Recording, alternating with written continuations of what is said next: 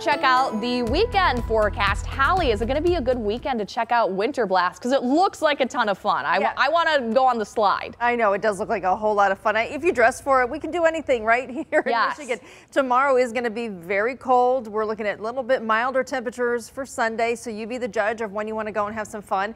I will start today is cold, but at least we have some sunshine today, so drier weather. The wind advisory kicks off at 9 and goes until 8 a.m. So it's done by tomorrow morning. It'll be gusty tomorrow, breezy, but not the criteria for a wind advisory. But we're looking at 40 to 45 mile per hour gusts isolated up to 50. So that is overnight into tomorrow morning with an Arctic front that comes through, kind of reinforcing the already cold air in place. Seven inches of snow reported in Grosse Pointe, Livonia, six and a half, five and a half in St. Clair, Beverly Hills, five inches. A lot of us kind of between that five and six inch margin.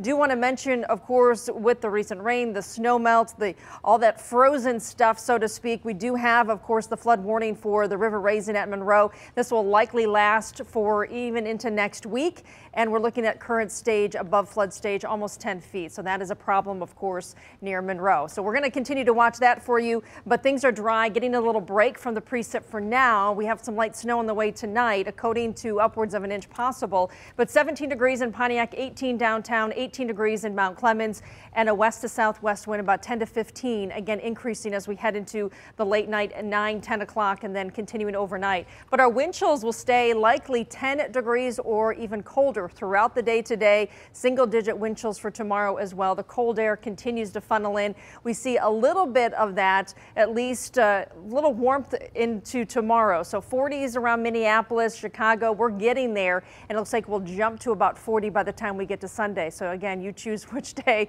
looks better for the weekend to be outdoors. But here's our hour by hour forecast. Cold with a brisk breeze today, light snow developing after 10 p.m. into tomorrow morning. I think a lot of us will stay under a half inch, but could see some isolated uh, three quarters to maybe an inch up toward the I-69 corridor. And that wind advisory starts again tonight until 8 a.m. Tomorrow, a few snow showers early, single digit wind chills for your Saturday. It's going to be cold. We do recover a bit for Sunday, dry, a bit milder, near 40 degrees, even milder for Monday. We start to see the next opportunity for a winter system to come in. This one looks like it's going to come in on the warmer side. So by Monday night, the chance for rain.